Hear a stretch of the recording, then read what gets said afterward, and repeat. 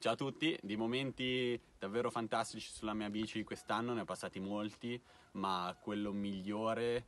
quello che mi rimarrà sempre impresso è sicuramente la vittoria a Lenzerheide